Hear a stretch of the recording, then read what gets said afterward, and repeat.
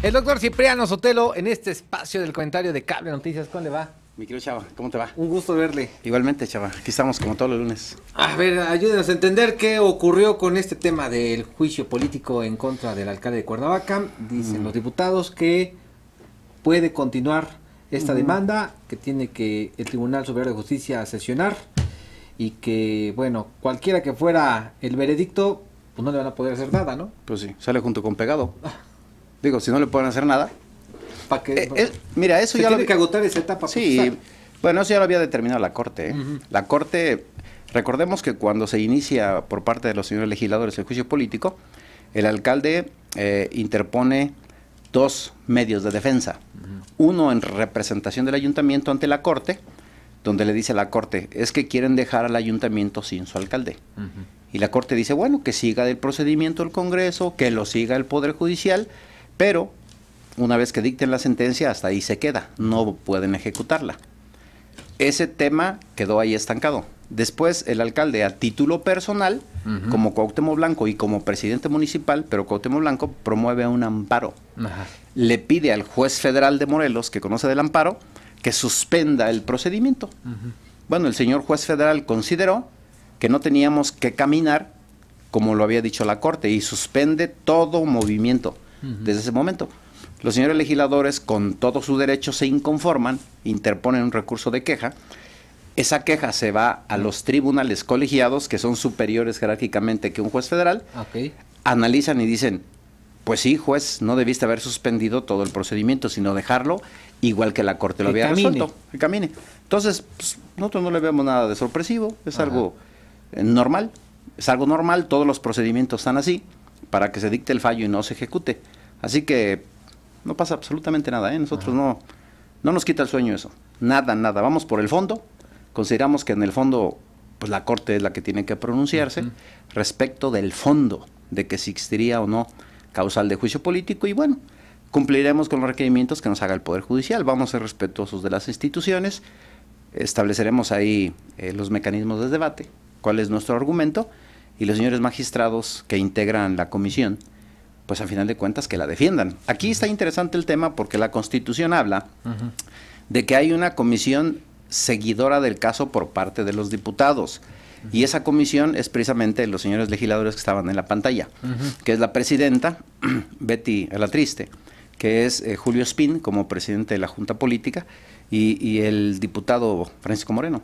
Ellos tres van a estar, van a estar en la audiencia que próximamente tendrá que señalarse. Ellos tendrán que darle seguimiento a lo que ya hizo el Congreso. Estará el señor fiscal general de justicia, porque es el que está facultado para hacer la acusación correspondiente. Y bueno, estará el alcalde y su defensa. Estará el alcalde y su defensa tratando de, de hacer la exposición, la argumentación, los medios de prueba que estime pertinentes. Entonces, ¿qué es lo que sigue? Yo creo que el Poder Judicial del Estado, en estos días, si no es que mañana, estará citando al alcalde y a su defensa para que en un plazo de tres días pueda estar frente a ellos tratando de hacer una exposición y los medios de prueba que estime pertinentes ofertar.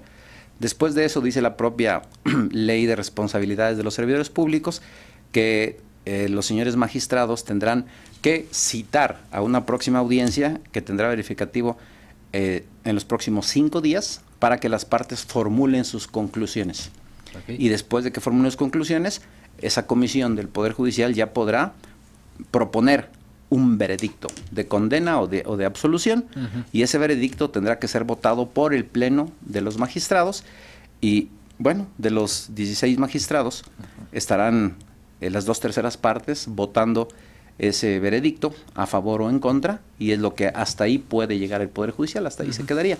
Habría que esperar después que la Corte analice con calma todo el material y determine si le da la protección o no al alcalde, ¿no? También el juicio de amparo continúa, aunque no haya habido suspensión, continúa. Eso no quiere decir que, que ya el amparo se quedó sin materia, no, continúa. Recordemos que hay tres amparos y tres controversias. ¿Por qué? Pues porque son tres procedimientos Distintos. que los señores legisladores iniciaron en su momento. Así que hay que esperar los tiempos, ¿no? Hay que esperar los tiempos. Aquí nosotros como abogados tenemos que ser muy respetuosos y también muy, este, eh, pues a final de cuentas, muy analíticos. Y, y decirle al cliente, no en este caso, en todos, cuáles son los riesgos, lo que puede pasar y los tiempos aproximados. Aquí nosotros le hemos dicho al alcalde que pues, las cosas están eh, normales, que él continúe haciendo su trabajo y nosotros consideramos que todavía tiene una larga historia este tipo de, procedimiento de juicio político.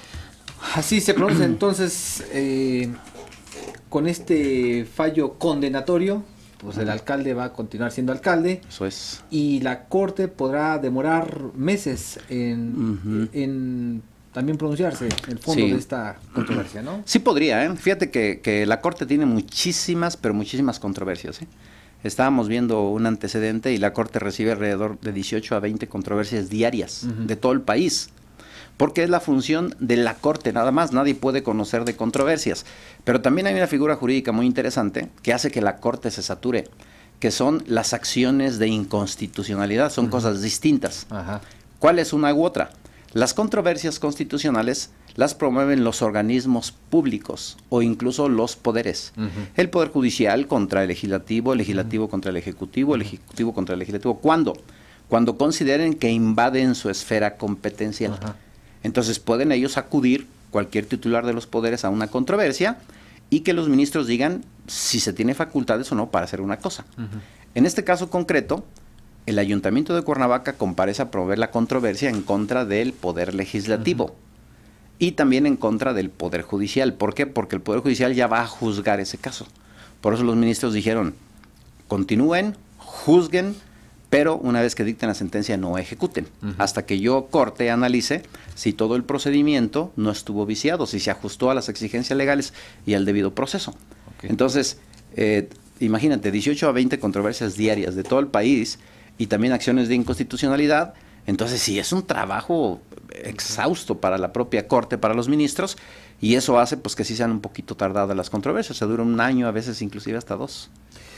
Pues ahora que ya les aprobaron a los magistrados eh, ampliarles el periodo en el cargo, se advierte entonces que pues el, sentido del voto de muchos de ellos, ¿no? Este... Eh, es lo que se ha dicho, ¿no? Es lo que se ha dicho, se especula y también pues, la lógica sí nos lo indica, ¿no? O sea, es que yo no entiendo, no entiendo el motivo por el cual se venga a dar esta reforma que beneficia a los magistrados. En este todo, momento. Todo tiene una explicación. Si tú tienes hambre, pues comes. Si tienes frío, te pones una chamarra. Entonces todo tiene una lógica, pero aquí no encontramos la lógica. La lógica, ¿por qué le regalaron a los señores magistrados seis años más? Los que iban a terminar el año que viene, pues ya le hicieron, se van a aventar otros siete más. El año que les faltaba más otros seis. Ajá, que alguien me explique de dónde surge, la lógica dónde está para darle seis años más. Entonces todo apunta a que evidentemente hay un acuerdo. Esperemos que no sea así. moneda de cambio. Que solamente se especule, pero también te quiero comentar que eso no es definitivo. No es definitivo. Ya eh, se dice que los señores alcaldes ya emitieron su positiva ficta desde el momento en que no contestan a tiempo la, la, la consideración que harían de esta reforma. La pretensión es que la rechazaran. Muchos, por temores o inclusive por omisión, no lo hicieron y legalmente al Congreso le están diciendo que sí están de acuerdo. Pero eso no es todo, todavía no, te explico.